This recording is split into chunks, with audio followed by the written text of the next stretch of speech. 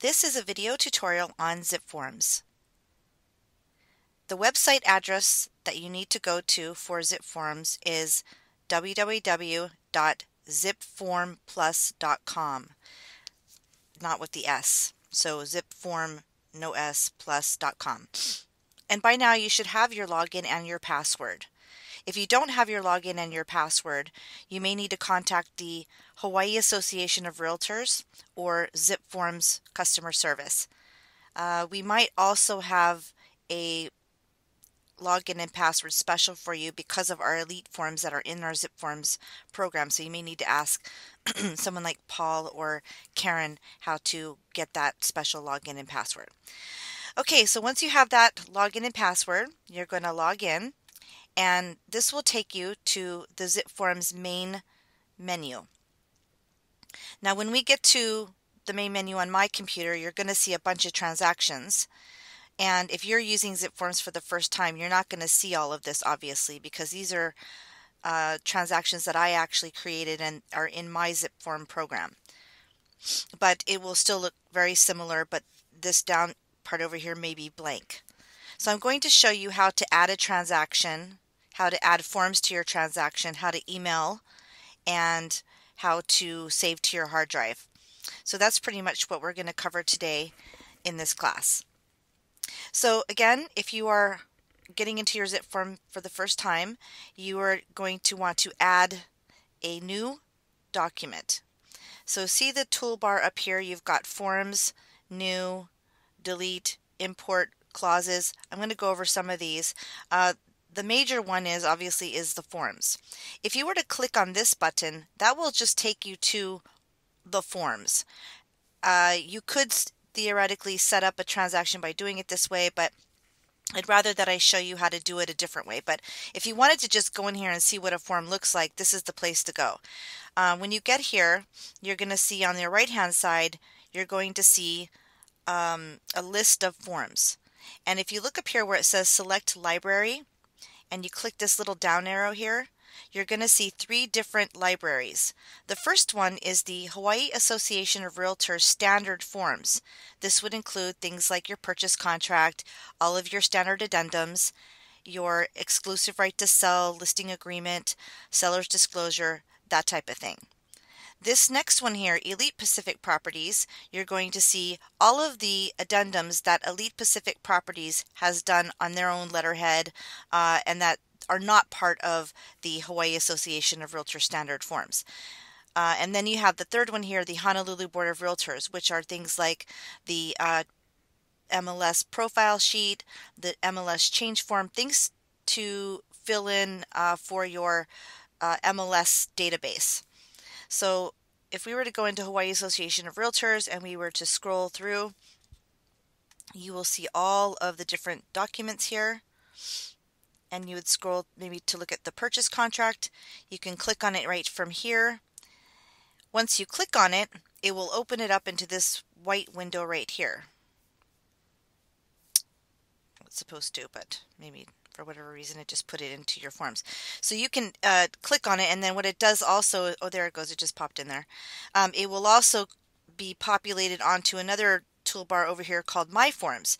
So if you double click on it, it will open up and then it will also put it in here. So if you were to go to a different document, let's say you wanted to put in the as is addendum, you could also double click on that.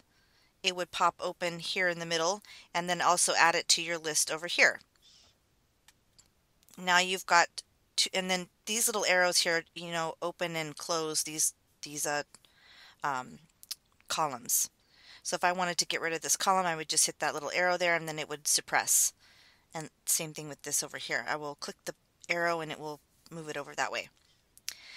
Now let's say I want to go back to, I've got my as is addendum, I want to go back to my purchase contract. I would just click on purchase contract and it would take me back there. Now you probably could start a transaction right from here, but I like to show you a different way because it's a lot more uh, organized. Uh, but this is a good way to just kind of, if you wanted to quickly have a look at something, uh, just to kind of see what the language is, so you don't have to go into one of your prior transactions, you can just go straight from here. So going back to this list here, this again is of course is the Hawaii Association of Realtors standard form forms. And then if we click on Elite, oops, we click on Elite, we're going to see all of the Elite Pacific Properties standard forms. So one of the ones that we like to use on our contracts is called the Elite Pacific Property Standard Addendum. So you stick that in there and this would be the Elite Addendum that you would use. Okay, this third library is the Honolulu Board of Realtors Library of Forms. And what this is, is when you are filling out a listing agreement and you're going on for a listing presentation, you need to pull up the MLS sheet, which we'll cover in a listing presentation uh, video tutorial. Uh, this would be the MLS information form, the form that you would fill out for the office so that they can enter your listing into the MLS. So we've got the HiCentral property type single family, and there's one for condo, vacant land, etc. Uh, so this is where you would get those forms. And they just put in the brand new form, so I'm happy to see that they did that. So you've got a listing change forms if you wanted to make a change to an MLS price, uh, listing price, or you're going to change the date or anything to do with the MLS, uh, you would do your change form here. So those are the three libraries. So I want to make sure that it's clear on what these libraries do and where you can find the forms. Okay, now that we know where to get our forms, we're going to go back to the beginning and we have this other toolbar up here, which is transactions, templates, contacts, obviously if you need some help, and feedback if you want to give feedback. But the two we're really going to be working with here are transactions and templates. So let's go back to transactions. And I'm not going to save that because it was just a tutorial there. so we're going back to our main screen. Now we're going to the next button over, which is new. We're going to create a new transaction. So let's say, for example, you have a buyer who wants to buy something and you want to set up a purchase contract, fill it out, and send it to review at elitepacific.com and follow the uh, off, offer procedures. So here we are. We've clicked on new new transaction, and we need to name it. So you see over here we have all the names here, uh, transaction name. This is what it's going to appear like. So however you like to do your organization, whether you want to do it by buyer name or seller name, I like to do it by the address because a lot of times I forget names and I'm much it's much easier for me to remember addresses. I don't know why, but it's all always up to you how you want to do your organization. There's no uh, rhyme or reason to doing this. It's just whatever you feel better with naming your transactions. So let's say I have a I have a property that I want to uh, do a purchase contract for. I'm going to put in the address and we'll put in the one that we've done on other videos that I've done. Oops. New Niuiki circle. and you don't have to put the whole name, just pretty much something that would be easily searchable. So whatever you put here can be searched. So if you did put a seller name in here or a buyer name, you can search by that name if you if you had several transactions you were doing and you you actually needed to do a search, which would be a good problem to have, obviously, uh, this would be something that would be searchable. Now, this is going to be a purchase. So I want to click on purchase because if you did happen to have a lot of listings and a lot of a lot of uh, purchase purchase contracts, uh, you might need to go back and do a search on all your purchase contracts. Maybe you forgot the address and maybe you forgot the the name of the clients. It was so long ago. Uh, if you wanted to do a, a search on just your purchases, this is a searchable field as well as well as this box here, residential, commercial. If you wanted to do a search just on all your single family transactions, you can click that. Or sorry, you can search on residential and then these things as well. Now, apply template. We're going to cover this a little bit later when I show you how to create a template, but if you had one in your in here, you could click it here to use it, but I'll show you that in a little bit. We're just going to do a simple setting up of a uh, purchase contract and we're going to do a simple setup of a transaction is really what I'm trying to do here. Okay, you could add a picture here. I don't really do that, but if you wanted to get savvy about it, you could put in a picture. So now that I've got my name of my transaction, I've I've clicked the transaction type. the property type, I'm ready to save it. So hit save. And now what that does is it brings up a blank screen here, just like I showed you when we were in Forms. And then we want to go to the Select Library, and we're going to choose first the Elite Pacific Properties Library of Forms because we need to choose here the offer procedures documents. I'm going to scroll through here.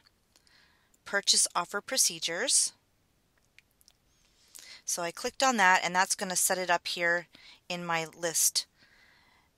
Then I'm going to go back up here and I'm going to go to the Hawaii Association of Realtors standard forms and in order I'm going to choose the forms I want to use. So the first one I want to pick is the purchase contract. And then I'm going to think about what addendums I want to use. And the first one I might use is the as is addendum.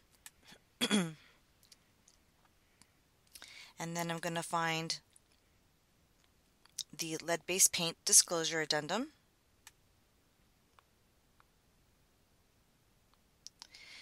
And then I'm going to choose a cooperating broker agreement.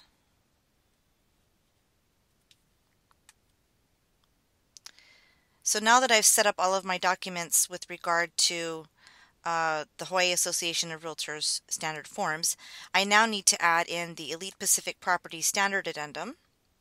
So just go back to Elite Pacific Properties, choose that addendum, and I'm all set up.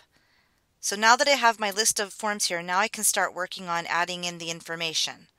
So I start off with the first one, Purchase Offer Procedures.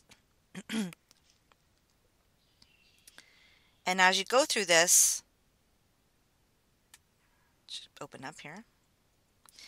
This is uh, your kind of like your checklist of what needs to be done with regard to filling out your filling out your contract. So you want to go through this first and fill out all of the boxes. And notice how we have the orange line here.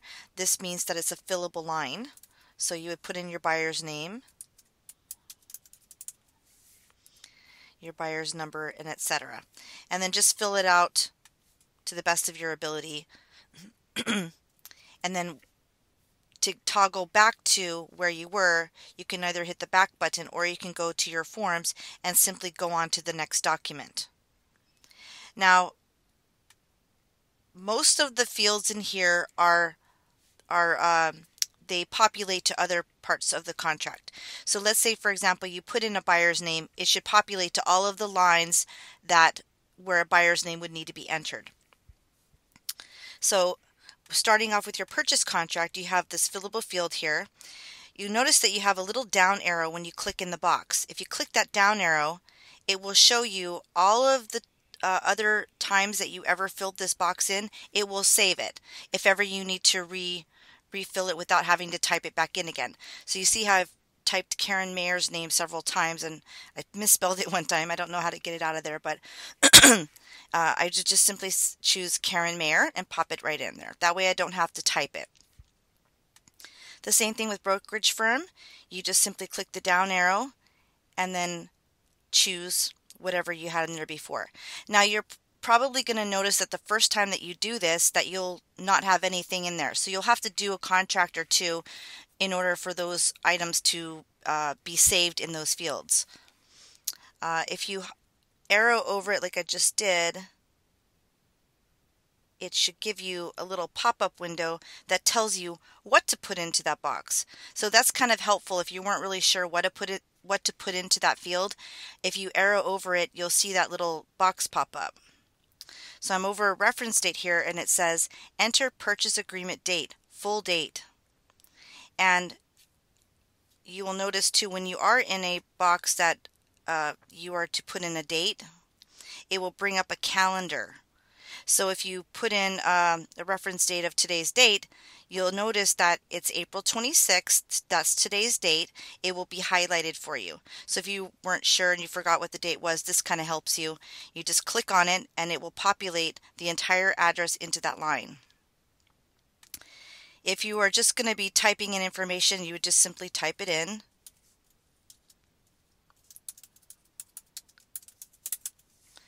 The city and the date. Again, if you've typed in a city before, it will have it here. State. And if it's faster for you just to type it in, then just type it in. Whatever. It's not 96734, but you get it. You can scroll down and find the right one if you wanted to. So 96825 is Honolulu. And then uh, if you have a condominium, I always like to go on the second line and type in the date, uh, sorry, type in the uh, name of the condominium. So you could type in, uh, let's just say this is uh, Niu Beach, but if this was a condo, this is how you would do it. And it would just be another line. Or you could you couldn't add it to this line because it's already set up for you. Uh, so that's why this is sort of like a one of those fillable additional lines if you wanted to put in more information. And then the tax map key would just simply fill in the information.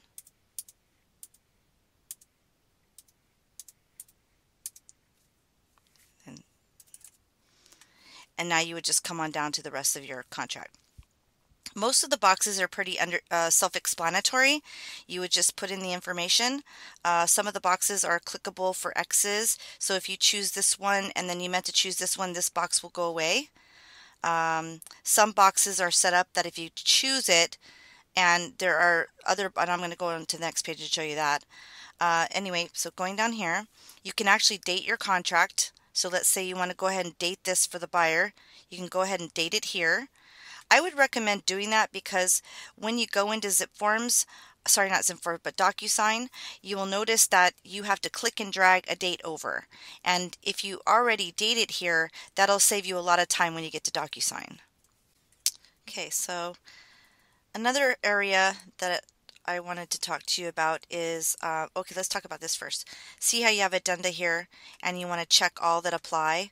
If you click in the box, it doesn't do anything. So remember how we had on the first page and we put put the check in the box, it was already it was already uh, coded to put in an X there. So if you click on it, the X automatically appears. You don't have to type the X.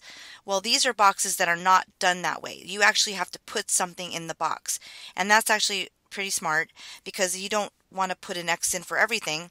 Uh, you might want to put like an NA or something like that. So if 1031 exchange here did not apply, you could just put in uh, NA and then agreement of sale NA. Oops. NA. And you might see this little icon here pop up. I'm going to show you that in a second, but that's for the clause editor. So now what I want to do is now I want to put a check in here. So now I actually physically put the X in the box. And you want to try to fill out all of the boxes so that there's no uh, question about whether or not you meant to put something there or not put something there. So if it doesn't apply, I would put NA, and if it applies, then you would put the check. And over here again, if you put the check in here, you're going to want to do that and then put in Elite Pacific properties. And again, if you have done it before, you'll have a list of all of your handwritten addendums. So if you've gone in here before and written in some other addendum uh, manually, it will save in here and you could just click it and not have to retype it in, which is kind of cool. Okay, another thing that's kind of cool about zip forms is that if you have a field that is set up for a calendar date or a dollar amount or something like that, where it's already, the, the field has already been coded to put in a date or to put in a uh, dollar amount, you could bypass that by simply hitting the space bar. If you hit the space bar, the section will turn kind of a greenish blue and then it becomes a text box. So now you can actually physically write something in here. So this would be a good area to put in like what we would normally put here would be three oops business days from J1 or something. But you can type in just about anything you want here as long as it fits in the field. So that's a, a good thing that you can do. Okay, and now I'm going to show you how to utilize the clause editor. And let's say, for example, we are on our description in the purchase contract and you have a description, you, you need to put a description here and you're not really sure what to write or what you don't know the language to put in here. What do people normally do? Well, we have a, a, list of clauses that you can uh, add to your zip form. And if you don't already have it, there's another video tutorial on how to add uh, clauses to your clause editor. Um, but let's say, for example, you didn't know what to write here, you've never done it before, and you want to know what the standard language is to put here. Then you would simply click in the field, and then you would click on that pencil, which will open up the clause editor. Or sorry, it, click the pencil, and then it, this will pop up. You're going to click the plus sign, and that will open up the clause editor and it would look a little something like this. And you see where it says category? All of the different types of categories you can click on to find out what language there might be for that particular category. So we're going to be looking for description of property. And you click on that category. And then do you see where it says title? You're going to click the down arrow. And then there are one, two, three, four, five, six potential uh, descriptions that have been written for this particular category. So obviously we don't want apartment building because we're doing a single family home. So we just scroll down to single family and that would show you the clause. Now that you have the clause and you have the right information, you're going to hit the insert button. Once you've hit the insert button, it will populate that entire clause into the line where you have selected to put it. But notice how it doesn't have some information. It's just a standard clause that has been written for you to just populate in here. So obviously if there's a standard clause that everyone has, we don't want to put in specifics. We want to leave some areas blank for you to automatically fill in. So I just want to point that out to you that although it's there for you to use, remember that there are certain there are parts of this that need to be filled in. So if you had a three bedroom, you would insert three in here and then let's say you had um, two baths, so three bedrooms, two baths, with approximately how many square feet of land, you would look at your MLS sheet and type in, you know, the square feet of land. And you can actually delete, add, do whatever you want, but the main thing was that you were able to populate something in here with language that you would never have known how to write it or uh, what is normally said in contracts, and this will help you. Uh, I've done this so many times that I, I could just pretty much write it myself without even having to, to do the clause editor, but it is a lot faster to just kind of click, click, click, and then pop. And then all you got to do is put in a few little uh, bits of detail here. Okay, so having done that, now we are going to go to another section of the contract. Okay, so here we are on page 13 of the contract. And although I added the buyer's name uh, in the offer procedures document, it didn't populate. So even though maybe there might be some places where you would think it would populate, just be double check your information when you are going through this that you did fill out everything. But if I were to put in the buyer's name here, this is a uh, this is this section right here is a main section that sort of drives the rest of the contract. So if you did put a buyer's name here, it should definitely auto populate to other parts of the form.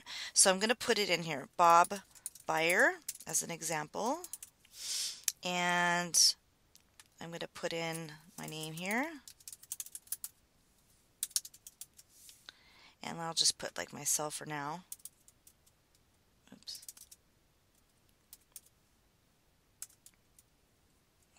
1401 and my email.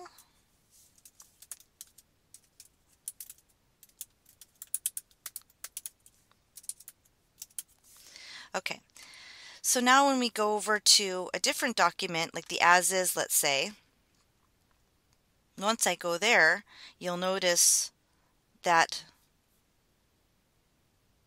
we have Bob Buyer should have populated to the buyer line on the as is. So, and, and also we didn't go into the as is and you can see here that the date populated, the address populated, and the TMK. So we don't have to retype any of this information, which is nice about zip forms that it does do that. Uh, and then you see Bob Buyer has definitely populated over here. Now I want to stop here just to kind of explain a little bit about saving. Uh, you need to remember that you're on the internet and that anytime you're doing anything on the internet that you want to make sure that you save your information because if for some reason your your computer crashed you would lose all your data you don't want that to happen so every time like maybe five minutes into it that you've done any kind of typing in here you want to hit the save button so just simply hit the save button well, didn't do it because I was I had already saved. Once you go from one document to another, it will auto save for you. But the purchase contract is so long that you could be on page six or seven and having added so much stuff that all of a sudden your computer crashes or something happens where the power goes out and then you go back into your document and then the adding of the transaction should have took but anything that you may have added in your purchase contract might be gone. So you want to consistently hit the save button. So I'm going to show you what that looks like here. So um, we'll just put none this. And maybe we'll put in a date just so we have something to do here. Okay, so now see how the it was grayed out before and now it's darker? I'm going to hit that button and it's going to save. And if I were to add more information here, it's going to be blue again. But this time if I were to go back to my forms and go back to the purchase offer procedures, see how it says saving changes? That would automatically save things for you because ZipForms recognizes that you're moving from one form to another. It wants to make sure that auto saves for you. But like I said, if you're in the purchase contract and you are all the way on page like, you know, 10 or 13 or whatever, you're going to notice that uh, if for you're not going to notice it, but you're going to want to save something because if you're that far along and you haven't saved it and something happens you could lose all your data and then you'll be kicking yourself. So just wanted to make sure that you understand that we are on the internet here and that anything can happen while you're on the internet with your computer crashing and or even with the uh, server for zip forms. It could possibly go down in the middle of your working. So consistently hit the save button. Okay. Now that we've saved it and we're finished, uh, obviously we're not going to do the whole purchase contract here because I have another class for that. But um, this is really just simply how to use ZipForms, uh, how to build a transaction, how to save and all that. So now that we've built our transaction, we've got all of our documents here and if we've theoretically filled everything out and now we're technically ready to send this to review at elitepacific.com, then we need to get this saved to our hard drive. So to save it to your hard drive, you're going to go to Save as PDF. Okay, so it's important to know that once you get to this screen that you see these boxes here. Whatever box that you decide to click is going to be saved. So we want to start off with purchase offer procedures. Another thing too is that when you click it, it's going to save in order in the way that you click it. Now you can save it one document at a time or you could save it all as one document. So I like to put everything all into one document so that it's easier to send and uh, going back and forth between people. Uh, because if you don't do that, it'll put it into separate files and you'll have to you'll have to attach them in an email separately. So I put it in the order in the way that I want it to uh, go into one file document. I always like to have the cooperating broker go last, so I'm going to click this one first and then this one. And then it will save it in that order. So down over here you'll see how it says documents to save. I've got my my order here. Now see how it says here save selected as separate PDFs? I don't want that. I want save selected as single PDF. That way all of this will be one PDF document. Okay, and now what I want to do is I want to save to computer. So I click Save to Computer.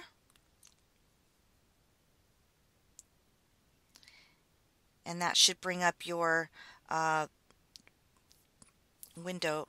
Damn it, I hate that. What the hell?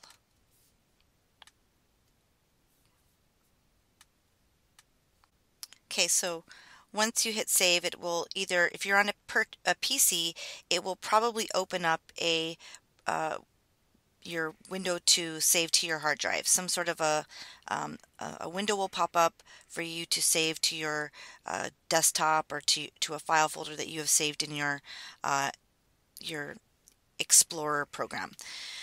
I'm on a Mac, so it's actually going to open it up in a PDF and then I have to save it from here. So now that it's opened up like this, I just hit File, Save, and then I'm going to save that to my desktop.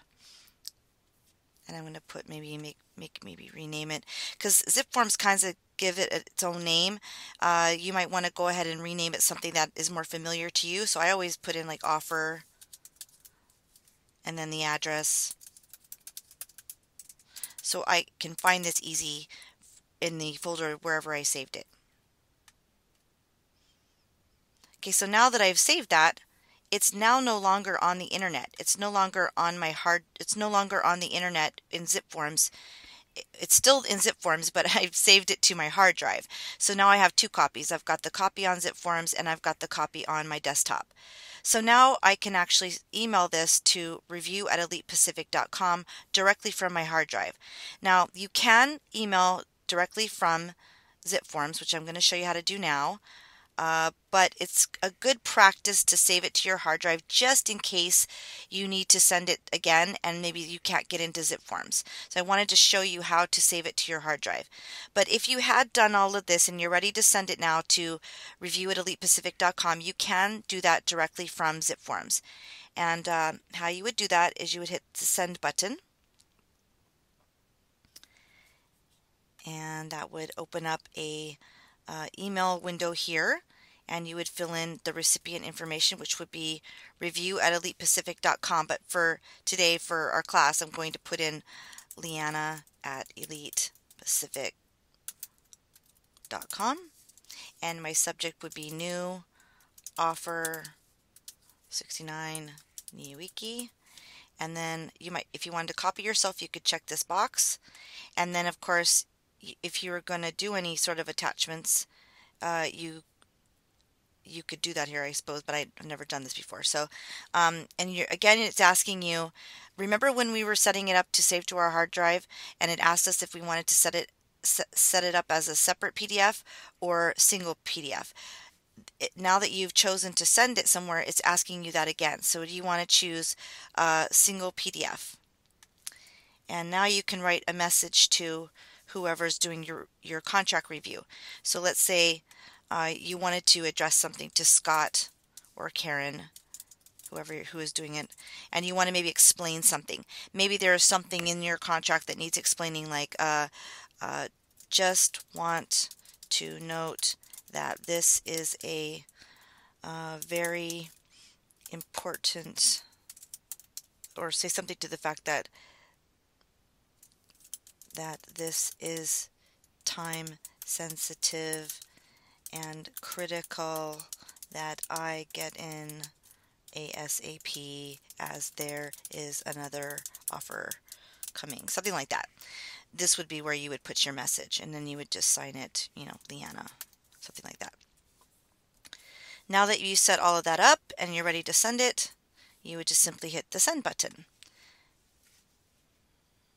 Oh, my bad. Um, so again, you need to ch check off the documents that you want. But that's nice that it tells you to do that. And I'm glad that it happened during the class so that if this did happen to you, now I can explain what you're supposed to be doing. So if it does pop up to you, uh, I, I didn't check off anything to save. So obviously it's giving me an error message here saying please select at least one document. And I did forget to make the checks here. So we're going to do it again in the order that we want it to be set up and those documents are all over here and now I should be able to send it with no problem. This document has been successfully sent. Okay, so then now all you have to do is wait for review to email you back with whatever changes that you need to you need to make and then I'm going to show you too how to uh, log off and let's say, for example, you want to get back in and find that find that document. So let's say, for example, you've been out and about. Now you want to go back into to zip forms to find that document so that you can make some corrections. So you would go to your your website or your your Internet Explorer or whatever browser that you use, and I'm going to go to zip forms, log back in.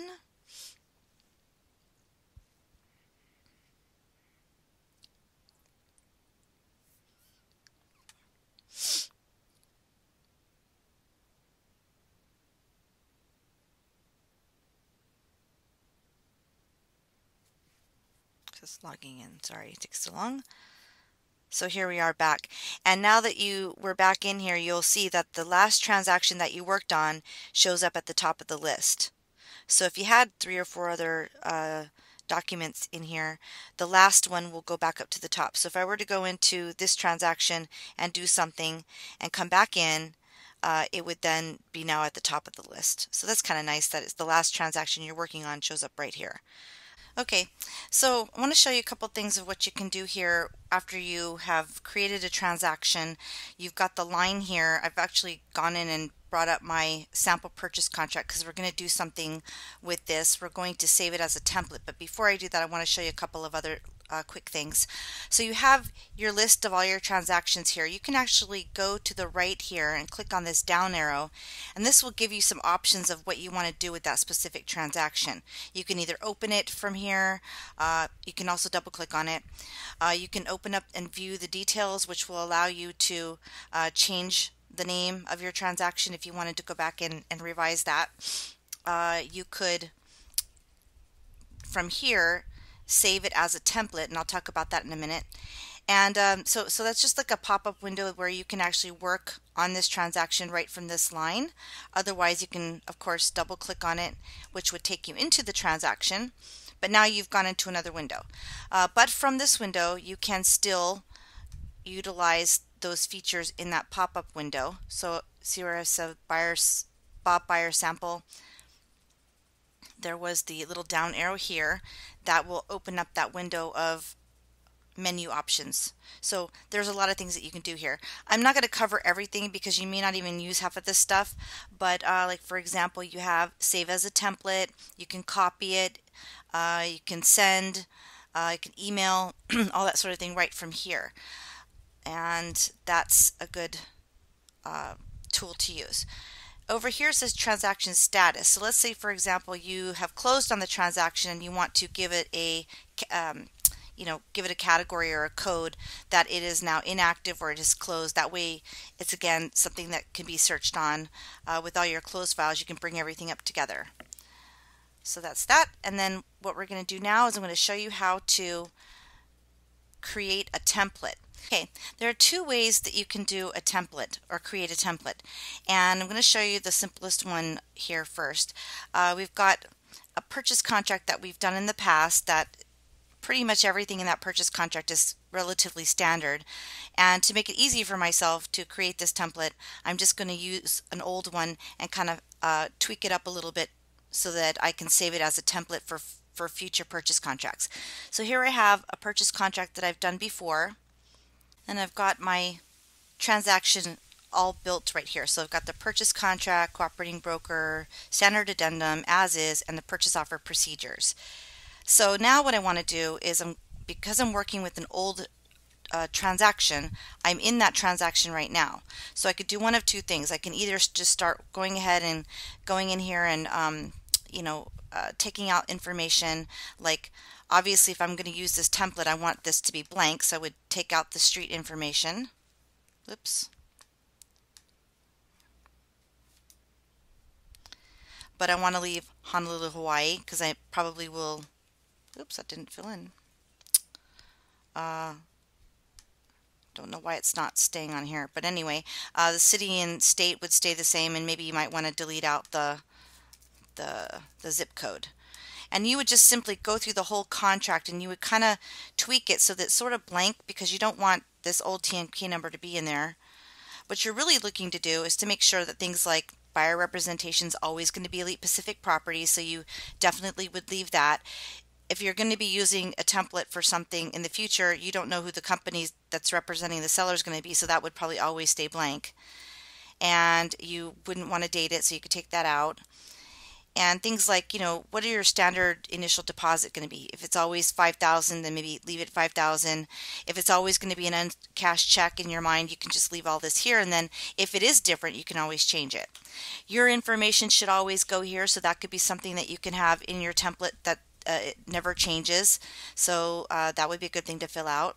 If you always use the as is and the lead paint those things could be checked automatically and you can put NA in all the other boxes so that you don't have to do it every time you can't really fill this in because it'll be um, specific to the contract that you're writing, but you could uh, put in here the three business days from acceptance of J1 for the additional deposit. That could always stay there. Um, you can always leave the language in here for the mortgage. That's helpful. If you're always doing a, if you're going to be saving this as a single family uh, template, then you could leave in the single family language here. Uh, things to put in all the time would be maybe the escrow officer that you like to use that sort of thing. So pretty much you just want to make it really standard so that all you got to do is come in here and fill out the blanks. So if you're always checking off the same box and you're always putting in the same uh, language in the line, then go ahead and fill this all out to, to be the way that you normally do it. And then, of course, if you do have a situation that's different, then you would just delete it and re rewrite in the new stuff. But this will save you a lot of time if you do this. Now, although I'm in here, this transaction, I would recommend that before you start tweaking around with things like this to go ahead and save it as a transaction, which we haven't quite done yet. So what I'm going to do here is I'm going to go back and see how it's saving the changes. So sort of kind of messed up that transaction. I don't want to mess up the original transaction that I worked on before. So as soon as you get in here and you see that you have all your documents here, you can just go right up here and do a save as template.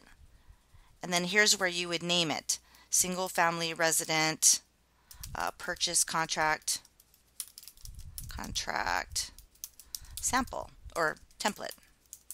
Don't have to say template, but it might help because if you're not sure what you named it, that might be helpful. And then, of course, you'd have to redo that uh, coding here with the template type and the property type. And then you would just simply hit save and then I'm going to show you how to implement using the template now. So now you've uh, saved the template. Now you want to go back to the template to start to do your edits. So you would hit templates and then yours will probably all be blank based except for that one that you saved. So you would go into the one that you've you've uh, created and just click on that. And now you're opening the template. You're no longer in the original purchase contract that you had with Bob Buyer. Now you've got a, a template that's all ready to start working on. So you would go into your purchase contract and then you would start to go through that process of, you know, adding in new stuff, deleting stuff out to make it your perfect clean template. Probably should have did that first, but anyway. Okay, so now that we've did a template that way, then the other way would be to simply start a new template uh, and, and you would build one from scratch. So you would click on templates. And just like you would do if you were doing a new transaction, you would hit the new button. And then you would give your template a name. And we'll give this one a single family resident. Purchase contract new say it like that so we can keep it separate from the other one and then I'm going to do a purchase and then residential and then I'm going to save it.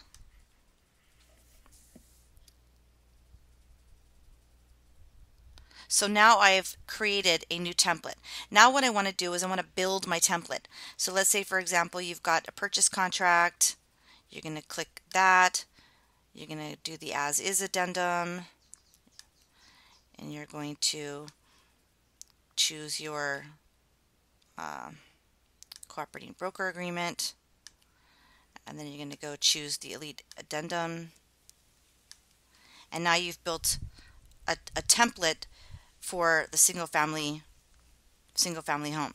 Then you would go into your transaction and now it's all blank. So you kind of see how I was going with that with the Bob Buyer old transaction. You wouldn't have to retype anything even with that. So it's like you're copying a transaction and doing like a save as and just re, um, redoing some of the information within it. But if you want to start from scratch, that's fine too. And you would just simply go through the whole purchase contract like you would if you were filling it out and just start adding in all the all the standard details. Like you'd always put Karen, you would always put Elite Pacific Properties. All of this stuff would stay within this template and would never change and then it would save you a lot of time. So that's how to save templates. Now, how to implement using the template. So let's go back to transactions. I will say yes to that. And uh, let's say we want to utilize that. So let's say we have a brand new buyer, and we'll call this one Barbara Buyer, and she's doing a purchase. residential. And now I want to use my single family homes purchase contract template for this particular transaction. So I would hit my apply template, go in here and I would look for my Bob Buyer sample purchase contract. This is the one that's already pre-filled out. And then there was that other one that was blank that we would have filled out too. So you just find the template that you want to use and then you would hit save. And then all of those forms are automatically populated now into this purchase contract for Barbara. So if we go to purchase contract, you'll notice that it's all filled out, just like we did when we when we uh, created uh, did the template. And now we want to go in and make this uh, specific to Barbara's purchase. So it wouldn't. This would probably be blank. So you would just change it to Barbara's purchase, whatever the the property address would be. And you would just simply go through this and fill it out according to Barbara's purchase. And then you would save and do everything else like you would normally do. And now it's no longer a template, it's an actual transaction. So I hope that explains how to utilize the template function. Almost done here. I just want to show you now how you can delete things from zip forms. It's very simple. So let's say I just want to get rid of this transaction altogether. All you have to do is go to this little down arrow here and then you would delete. And then it asks you, are you sure you want to delete, which is always good, and then you would delete if you still wanted to delete that. Again, if you wanted to delete templates because maybe you had just too many going on in here, you can go in here and uh, also delete your templates. Okay, just a couple of other things here to show you before we end here. I wanted to show you how to do a search. So if you had a lot of transactions in your zip forms and you didn't want to scroll through everything, uh, or maybe you couldn't read something very clearly, then maybe just putting in something here to help you find it would be helpful. So let's say I, I have a, a seller name uh, and I want to go through all of my zip forms to find all of the transactions that I've done for that seller. So I'll put in a name here. So I put in Dragons Group, which is a client, and after putting in that information, it's going to pull up all of my transactions that match that particular name. So whether it was a buyer or a seller, it's going to pop up. Let's see, I want to do a search for a property address. So I'll put in, if I do that, then it will bring up whatever pretty much matches whatever I put in this box. And if I wanted to sort, let's say I wanted to sort all my transactions, I could do so by clicking the sort button and I could do it by buyer name. So it didn't work there, sorry. Buyer name. So now all of my transactions are sorted by buyer name. And now if you wanted to create a different look, you could click this icon here which would set up the view a little bit differently. So if you'd like to look at it this way, you can change it. So if you wanted to go back to the one-liner, then you can do that by clicking that button. If you ever find that you need help, maybe something's not working correctly or you're not sure how to do something and I, I haven't covered it or something, uh, you can go to the help and uh, email the help desk which I haven't done this before. I usually call them, uh, but you could theoretically email them and then, but then you'd have to wait for them to call you back. Uh, a lot of times when I have troubles with zip forms, I need an answer right away. So I do have a 1 800 number that you can use. Uh, see. Zip form assistance 1 866 693 6767. You might have to wait a little bit on the phone, but uh, definitely this is the better way to go. Perhaps you'll get an email back right away, but um, I would feel that you would get much faster service if you call the 1 800 number. And uh, obviously, you wouldn't send that, but you put your message in here of whatever it is that you're looking for. You have some subject matters here that you can choose from, and then you would just hit the send button and uh, hopefully get an answer right away. Okay, so thank you, and this concludes the tutorial for zip forms.